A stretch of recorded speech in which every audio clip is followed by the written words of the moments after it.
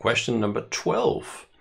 Got Milk LLC, a small regional dairy plant, has configured a single backup job using the reverse incremental backup mode containing four virtual machines with a strict RPO of 24 hours due to legal requirements. An additional backup to tape job has been configured to target their four drive tape library an operations engineer discovers only a single tape drive appears to be used and that the backup to tape job is interrupted by the source backup job. What should the operations engineer do? Okay, so there's two potential things we want to uh, think about here. First of all, it says that they have four uh, drives in, in a library, and since we can use one of those, we, we must be able to talk uh, correctly with the library. So I don't think it's going to be any driver issues, anything like that, uh, at least causing us uh, to not be able to use multiple drives. The second thing is that the backup tape job is being interrupted, but let's go down here and, and take a look. Uh, so we see some options here. Reconfigure the backup job to use the forever forward incremental backup mode. Okay, mm, sure, we, we, we, we could do that that would uh, also mean that we think using reverse incremental is a part of the problem. So uh, I'll let that hang a little bit. Perform an active full. Don't really think this is necessarily uh, uh, going to be that helpful. So then, okay, now I have a new full, but uh, with the existing stuff we have going on, it's it's not able to finish. So why would this be helpful? In the advanced tab of the advanced settings, so advanced, advanced, very advanced, of the backup to tape job, enable the use hardware compression if available checkbox.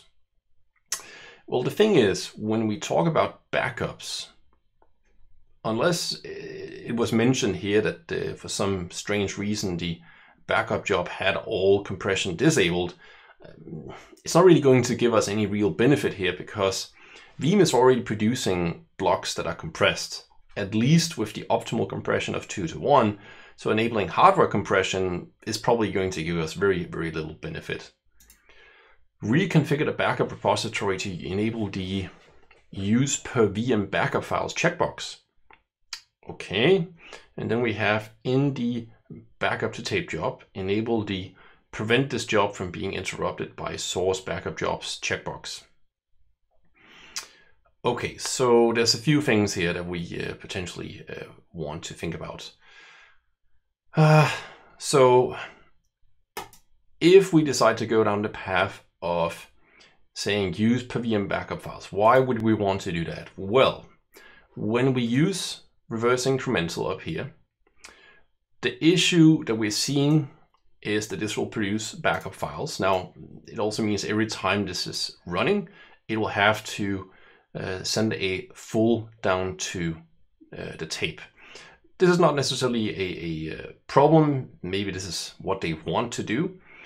So the first thing uh, that they really um, uh, are seeing here is that it, it's only using a single tape drive. So that tells me that this job is probably targeting a repository that has per job backup files, meaning we get one big VBK and some VRB files that contain multiple virtual machines. So this is one chain. Now one chain goes to one tape drive. So we could go and change this repository to use per VM backup files. That would mean we would have multiple chains and I could start using more than one tape drive.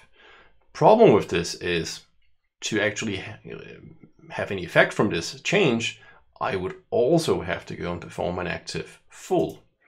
So I would say these two uh, should be the correct ones. We, we have some mention down here that says uh, in the back of the tape job, enable the prevent this job from being interrupted. This is a real uh, setting. This is a real setting. But what does this mean? It means that when a backup to tape job is running, if the source job starts, this will, will get killed. Right? It's going to stop before it's finished. That's why it, it's getting interrupted.